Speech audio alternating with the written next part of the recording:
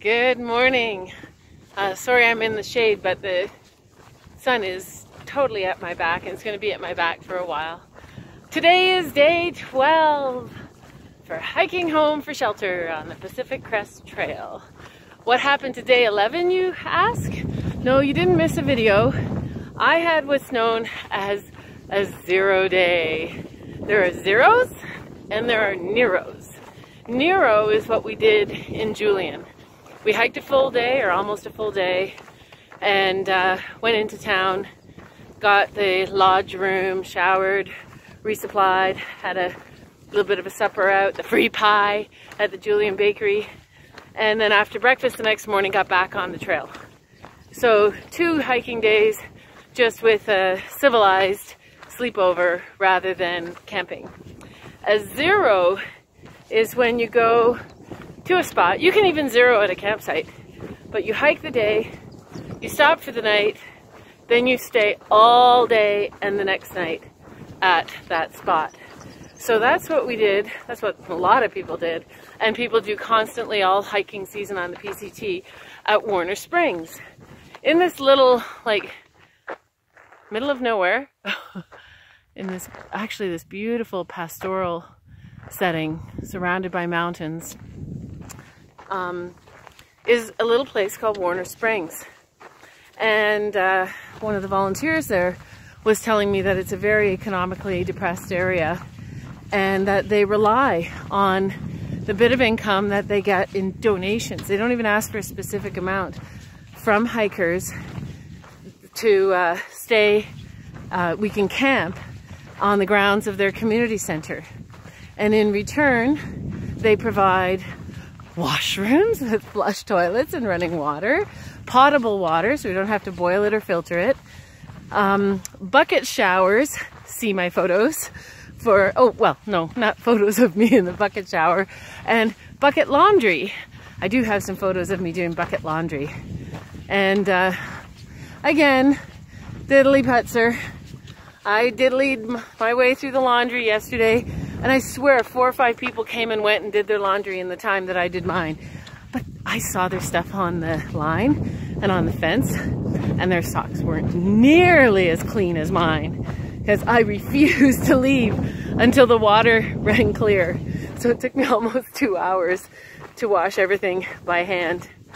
So Warner Springs Community Center is this absolutely magical place.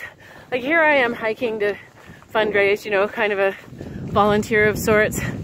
And I don't know, it's just very weird to arrive somewhere. I'm not sick, I'm not injured, I'm not destitute, but there are volunteers they have a schedule and everything who show up and open the center at 8 a.m. And one of the people runs the little resupply store. Yeah, they charge more than the average store, but well, they're out in the middle of nowhere and they're trying to fundraise, so that makes sense. And one person occupies the welcome desk and you get the whole spiel when you get there about the bucket showers and the flush toilets and the hours of operation and and so on. And usually they're about 20 tents a night. Well, there were the last two nights. I think at the height of hiker season, they'll probably have more. But I just wanted to say a great shout out. Um, I know the locals probably aren't watching this, but PCT hikers who are, please, please, please thank those volunteers. And if you can afford it, I know there's some hikers out here on a really tight budget, but those of us of a more mature age and advanced, advanced position in our professional or financial lives, throw a little more in the jar there because uh, this community needs it. I saw the kids from the school across the road come over and play baseball on the community center grounds as I guess as part of phys ed class yesterday. And they're all native kids and uh, they come from the reserves. And across Canada we know how bloody terrific our reserve lands are. And uh, it's no different here. A lot of the families struggle with alcoholism, drug addiction, poverty, uh, persecution, racism, etc. And these are the people that the funds raised via the hikers go to. They host suppers in uh, the off season in that very community center for these people who can't afford suppers for themselves. And they donate funds for clothing and other needs that the community may have. So Warner Springs, my people, Warner Springs. Make sure you donate. Make sure you thank the volunteers.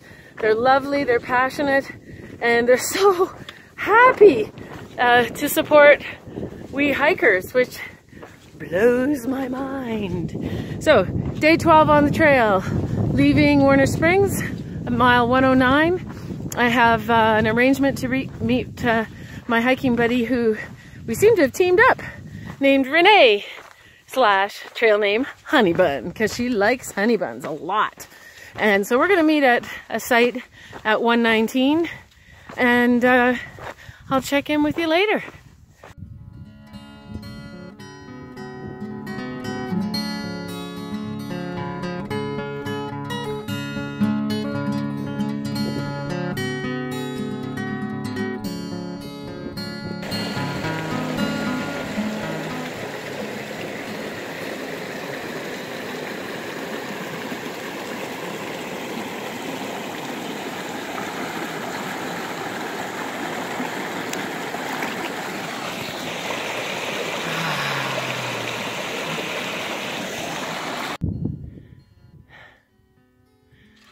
Really struggling today.